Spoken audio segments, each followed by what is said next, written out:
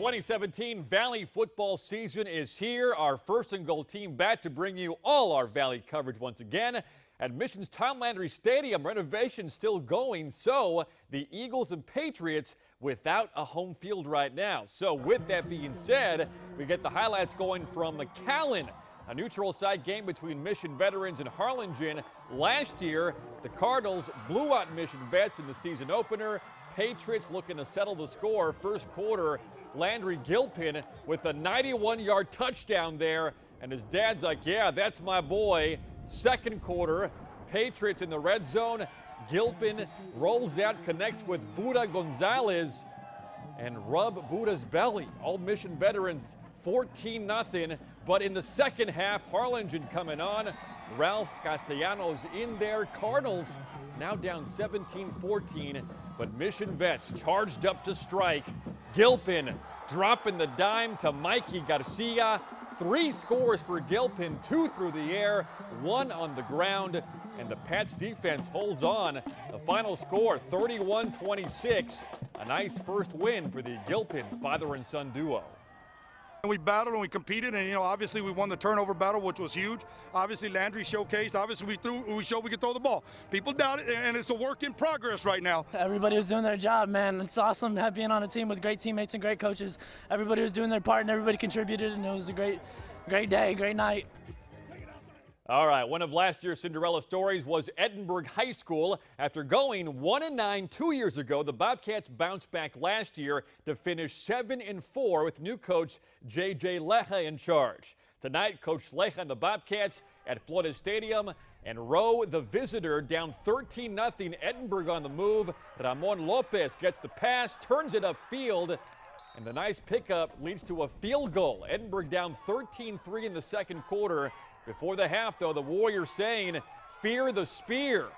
Raudel Garcia in the flat shows off some nifty moves. First down for Rowe. And now it's the quarterback, Jesus Sanchez. Gonna throw? Nope. He's gonna run. He's got some wheels on him. Sanchez finding that pay turf. And Rowe keeps on rocking after that. The Warriors defeat the Bobcats 30 to 9. Over at PSJA Stadium, the Wolverines kicking off the season against the Huskies from Juarez-Lincoln. Here, the Huskies up 13 0 at the break, and they were looking to build on that.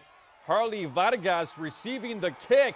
The huge hole opens up, and the Harley is off to the races. Vroom, vroom. There it goes.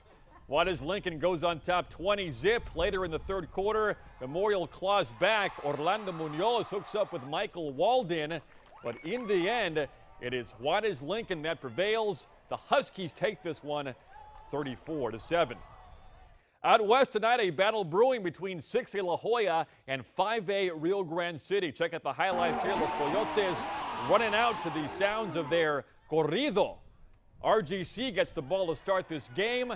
The Rattlers give it to Angel Galvan. He takes it up the middle for a first down. And then moments later, La Joya's defense coming up huge. They force the ball free. It scatters around. Trey Bettis collects it. And this is a scoop and a score. La Joya jumps out to a 7 0 lead.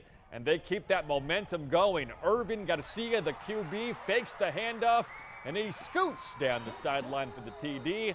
La Joya gets the win 20 to 7.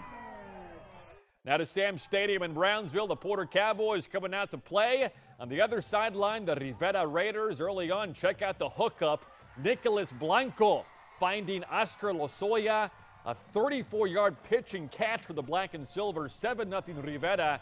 The Cowboys go on offense now, but the Raiders jar that football free. They take over and now they give it to Quinte Smith Barrett.